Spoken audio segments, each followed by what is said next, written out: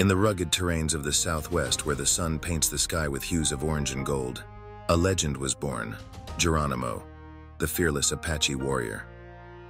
Born in 1829 near what is now Arizona's Gila River, Geronimo was originally named Goyahukla, meaning he who yawns, but it wasn't long before he earned a name that would echo through the annals of history. Geronimo's life took a tragic turn when Mexican soldiers killed his mother, wife, and three children in 1858. Consumed by grief and rage, he turned his sorrow into a relentless drive for vengeance and freedom.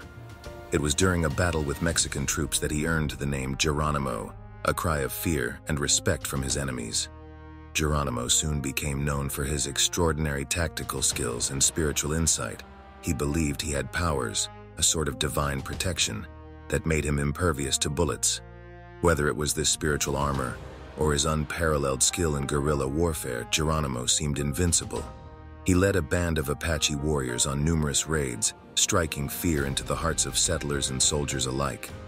But the tides of time were against him, the U.S. government was hell-bent on relocating Native Americans to reservations, stripping them of their lands and freedoms.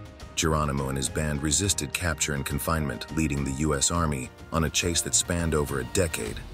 His resistance became a symbol of Native American resilience and defiance. In 1886, after years of evading thousands of U.S. troops and Mexican soldiers, Geronimo finally surrendered. He and his followers were exiled to Florida, far from their ancestral lands. Despite his capture, Geronimo remained a symbol of resistance. He even rode in President Theodore Roosevelt's inaugural parade in 1905, though he was never allowed to return to his homeland.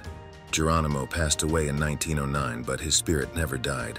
His life story became a rallying cry for all indigenous peoples fighting for their rights and lands.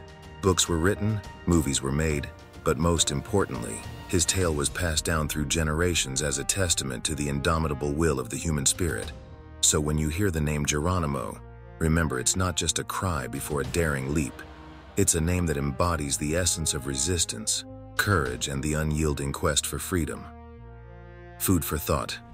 How can the story of Geronimo inspire us to stand up for what we believe in, even when the odds are stacked against us? Hope you find this narrative both enlightening and inspiring.